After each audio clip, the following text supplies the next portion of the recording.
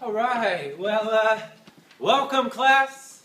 Uh, first of all, I just want to say uh, thank you for watching this video. Uh, I, I, consider it a real privilege to teach you, and uh, I'm excited about that opportunity. Because uh, today, what we're going to learn is how to add and subtract rational expressions. That's what we're all about today, all right? So here's the first one. I'm just going to get right to it. We're going to go here. We're going to go with x plus 4 over x squared plus 5x minus 24 plus 4, again, over the same denominator. All right. Yo, this ain't no different than what you've been doing in the past. You see, a long time ago, and I'm talking a long time ago, or maybe not so long ago, depending on how old you are, but either way, at some point you had a teacher do this for you. At some point a teacher was like, yo, 4 over 11, I'm just picking numbers randomly here, plus, I don't know, 2 over 11 equaled 4 plus 2 over 11. And then you added the 4 and the 2, and that got you 6 over 11. All right, that's what you learned before. This ain't much different. I want you to notice. Look, the denominators were the same. They were common denominators. And notice, 11 plus 11, it still stayed 11. The denominator didn't change. The numerator did. We added this numerator plus that numerator, and we got 6. And then we were done. This is the same. It's the same thing. Look, so the first thing you want to do when you got these problems is, yo, that denominator doesn't change, so rewrite it. That's easy money right there. Just rewrite the denominator and you're good. You're on the right path. And don't do every step at once. Don't do the whole problem in one step. Write this numerator plus that numerator. So here we go. x plus 4 plus 4. And I'm using parentheses because when we do subtraction, parentheses are going to be really helpful. Okay, so now I got this. I'm going to combine my like terms. Uh, you know, 4 plus 4 is 8. So x plus 8 over, again, my uh, denominator. The key is that they're common denominator, so they don't change. These values stays the same. Now I have a single rational expression. And you know what we do when we got one rational expression. And if you've already forgotten, that's all good because I'm going to remind you right now. That's what I'm here for. I'm here to teach and remind and, and show. Uh, here's the steps for simplifying. You, one, factor things. And two, you cancel stuff. Factor things and cancel stuff. That's how we simplify a rational expression. And that's meant to be vague because it's just a pointer. It's pointing you in the right direction. You got to know how to factor. Now look. The numerator you can't factor. It's x plus 8, so you keep it that way. x plus 8. This denominator is a trinomial. The way we've been rolling with the trinomial is we say, boom, negative 24 on the top, 5 there, so an x marks the spot problem. So you need two numbers that multiply to give you negative 24, but add to give you positive 8. Those two numbers are 8 and negative 3. Bam! Got it. So, x plus 8, x minus 3. We are almost done. This is factored. We factored some things. All we got to do now is cancel some stuff. Well, what do we cancel? we cancel those things that are the same. If we're, if we're multiplying and dividing by the same number, we can cancel it. And look, boom, boom. And watch this. Look, this when, when they cancel it, essentially becomes the number 1. So make sure that 1 is still in the numerator. That x minus 3. Boom, boom, boom. That's problem number one for you right there. Okay? Uh, key thing, when they are common denominator, the denominator stays the same. That's the key thing. Let me get an eraser. Let me get an eraser. Uh, rewind this, try the same problem over again. That's what I would do. All right, I'm going to erase all this. And let's uh, Let's roll through one more. In fact, let's roll through two more. Why, why not, right? Uh, here's another one. We got uh, x plus 10 over x to the third plus 13x plus 12. And let's add 2 over, I don't know why I put to the third. Ay, ay, ay. Mamma mia. Um, should have been squared plus 13x plus 12. All right.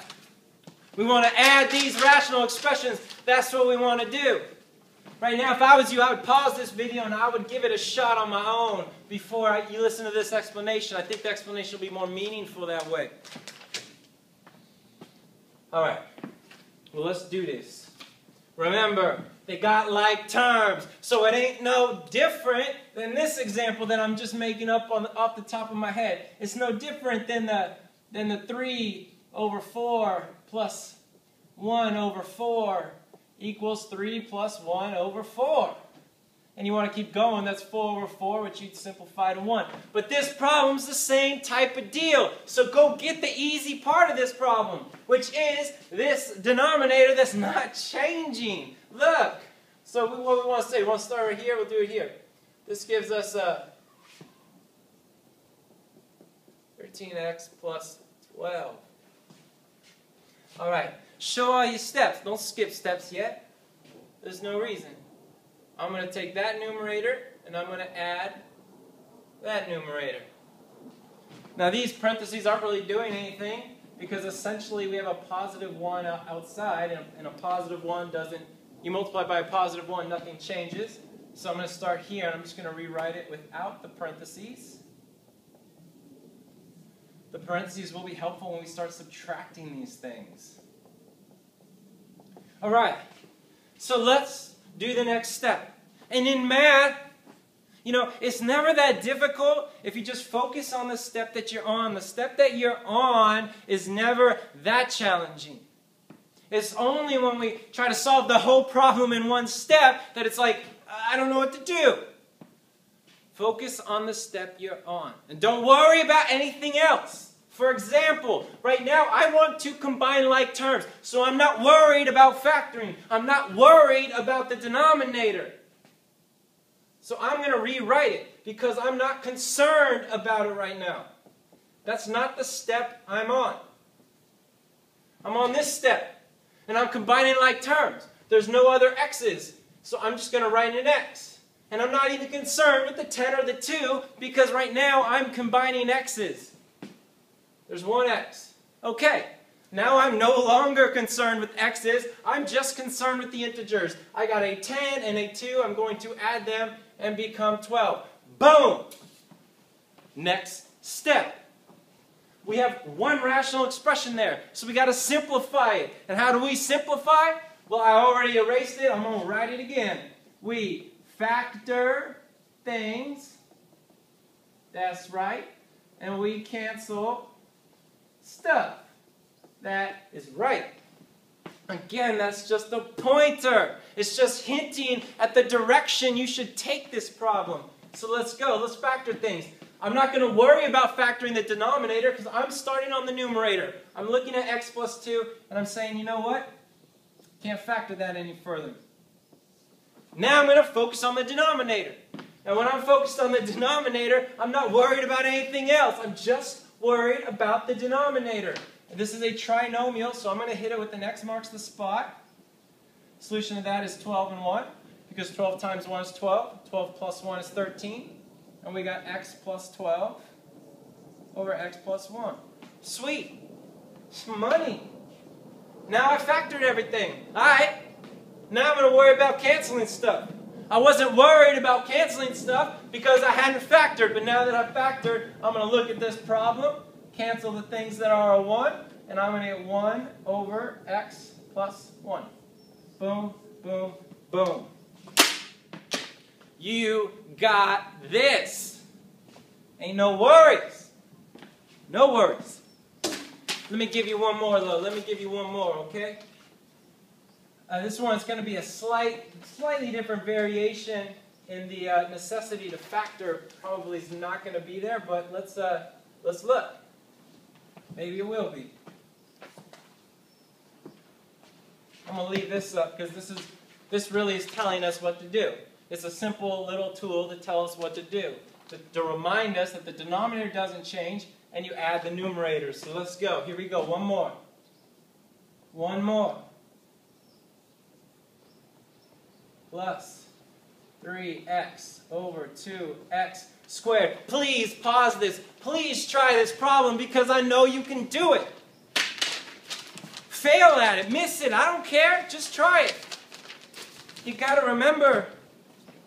I mean, if this is the, only the third one you've seen, and maybe this is only the first one that you've actually tried, you're under no obligation to get it right. You're under no obligation to even know how to do it. You're only under the obligation to try. That's my only thing I ask of you. So look, the denominators are the same.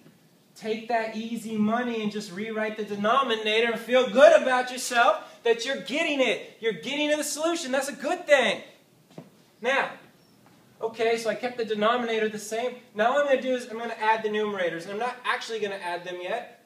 I'm just going to write that one plus, and this time I'm probably not going to do parentheses because they're, they're each monomials, right? There's only one term. So I'm just going to do 5x plus 3x. You want to still write your parentheses? Still write them. It's all good. Now, time for me to combine like terms. And when I'm combining like terms, focus on the terms you want to combine. Like right now, I got an x, I'm, so I want to see, are there any other x's? Well, sure, there's a 3. 5x plus 3x is 8x. Now I'm done with that step. There's nothing to combine in the denominator because it's just one term. Boom! Now, nothing to factor. Is there something to cancel? You better believe there is. And maybe, maybe there is something to factor. Maybe you want to look at 8 and call 8 4 times 2. Maybe that's helpful for you. So when you do that, you can see that the 2's definitely cancel. You got one x on the top, you got two x's on the bottom, so that cancels, and that becomes just one x, and you are left with 4 over x. All right? I mean, some people wouldn't show this step. Maybe you would just look at this and say, well, divide that by 2, divide that by 2. Uh, that cancels with that. And maybe you just jump right to this solution. But uh, that's on you, whatever you prefer. So, adding rational expressions. Uh, a good topic. Uh, notice if these denominators were different, then, then the game gets a little bit more difficult. But right now we ain't worried about that. They're the same in this problem. I encourage you to do more of these. I encourage you to, to rewatch this video and just try the problems, all of them, prior to my solution. I encourage you to have a beautiful day or a beautiful night. Uh, this has been really fun, and, uh, and I hope you learned something. Uh, take care.